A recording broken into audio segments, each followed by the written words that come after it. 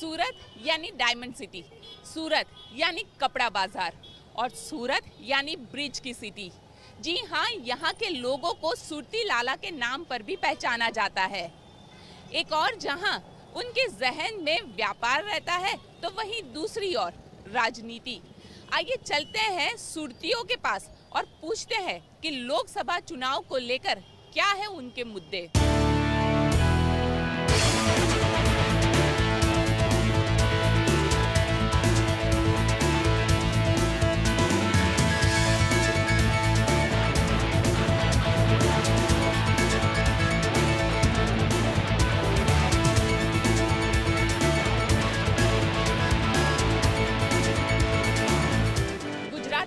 ગુજરાતી में कहावत है कि सूरत नु जमण અને काशी नु मरण यानी सूरत का खाना और काशी में मृत्यु ये नसीब वालों को ही मिलता है वैसे ही सूरत के खाने का जो जायका है वहाँ पे तड़का नहीं होता है लेकिन स्वाद इतना लाजवाब होता है कि खाने वाला उंगलियां तक चाट लेता है आप देख सकते हैं सूरत की चाहे लोचो हो सूरत का चाहे अ, बटाका पूरी हो या सूरत की उंधिया हो हर चीज़ में। एक अपना स्वाद है, एक अपना जायका है और ये चीज़ सूरत के लोगों का, अपना खुद का मिजाज भी बताती है। लोगों से बात करते हैं, पहले तो हम ये लोचो ले लेते हैं और लोगों से बात करते हैं कि लोग क्या कहते हैं, लोचो खाते खाते क्या इस बार जो राजनीति हो रही है, राजनीति में जिस तरीके का स्वाद का जायका है, क्या उनको मिल पाता है? और हमारे साथ ये सारे फ़र्स्ट टाइम वोटर्स हैं, उनसे बात करते हैं। आप बताइए इस बार के चुनाव के आपके मुद्दे कौन कौन से होंगे? जी, मेन मुद्दे तो एम्प्लॉयमेंट क्रिएशन रहेगा जॉब क्रिएशन और फार्मर की सहाय रहेगी।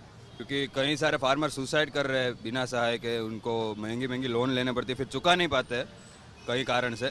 तो फार्मर का वो रहेगा और जॉब क्रिएशन रहेगा। क्योंकि अनएम्प्लॉयमेंट की बहुत ही प्रॉब्लम एज ए यूथ तो जॉब क्रिएशन ही लगता है, क्योंकि हमारा फ्यूचर उस पर ही डिपेंड करता है, इसलिए। आप बताइए आप कौन से मुद्दे को नज़र में रख के वोट डालेंगे इस बार? अभी पाकिस्तान ने दो बार हमला किया है हम पर तो मोदी सरकार ने अ, उनको जवाब में दो बार सर्जिकल स्ट्राइक की है। तो अभी सर्जिकल स्ट्राइक को महत्व में रखते हुए कि मोदी मोदी जी ने अ, हमारी इंडियन आर्मी को छूट दे दी थी कि आप करारा जवाब दीजिए। तो ऐसे हम युवा युवा धन को भी ऐसा जोश मिलता है कुछ काम नया काम करने के लिए और करारा जवाब देने के लिए। तो मैं अंत में ऐसा ही कहूँगा मैं भी हूँ चौकीदार। अच्छा आप भी है चौकीदार? आप है चौकीदार? यस खास तो जो अभी रेप किससे बढ़ रहे हैं सूरत में भी आजकल रेप बड़ा बहुत बढ़ रहा है ये सबको ध्यान पे रखते हुए इसको कैसे कम किया जाए? ये इस ये अगत्य का मुद्दा होगा इसके चुनाव में। और अभिनंदन जी को जिस तरह से पाकिस्तान को दो ही दिन में छुड़वाना पड़ा मोदी जी की इस राजनीति को सैल्यूट है। नमो हो अगेन नमो अगेन का नारा सूरत के लोग लगा रहे हैं। साथ ही ये बताइए कि अ, मुद्दा कौन सा होगा? इलेक्शन में आपका मुद्दा कौन सा होगा? जिसको नज़र में रख के आप वोट डालेंगे। मुद्दा तो अभी किसानों का भी हो सक किसानों का है और डेवलपमेंट भी अभी होना चाहिए जो कुछ है।